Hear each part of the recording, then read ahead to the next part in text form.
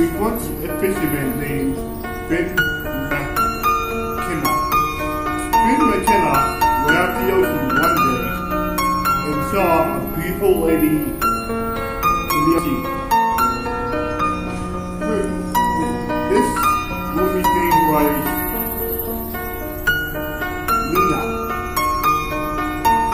Nina was not like other girls. She, uh, because next to was a uh, sealskin. Also, she was a, to signal that she was a selkie. So, Finn McCullough, being wise as he is, decided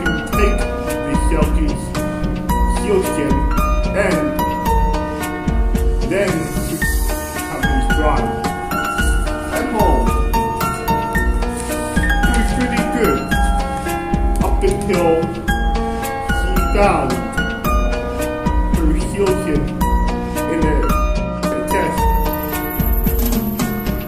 She then went back to the ocean and lived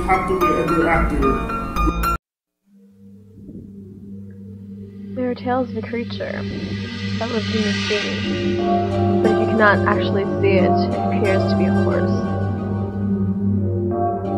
Have you ever by the? Like this man, Patty O'Neill. A horse comes up to you, and don't be like him. Patty decided that he would drive the horse and climbed onto its back. He couldn't leave. The horse started pulling him into the ocean. He fought as hard as he could. He didn't escape. This horse, the Kelpie, pulled him under. His master's name was Finnegas was out fishing near the lake. Was said that the salmon knowledge ate a lot of uh, nutshells, which made it the widest fish in all the land.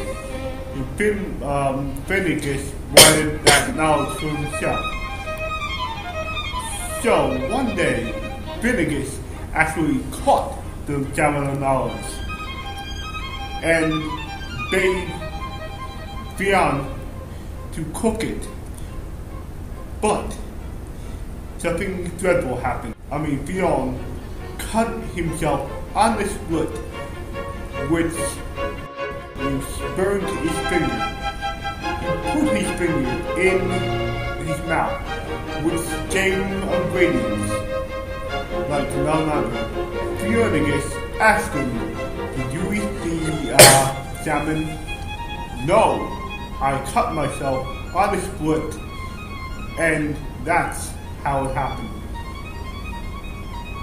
Fionagus bade Fionn to eat the salmon, which gave him all the knowledge of the land, to become the greatest warrior slash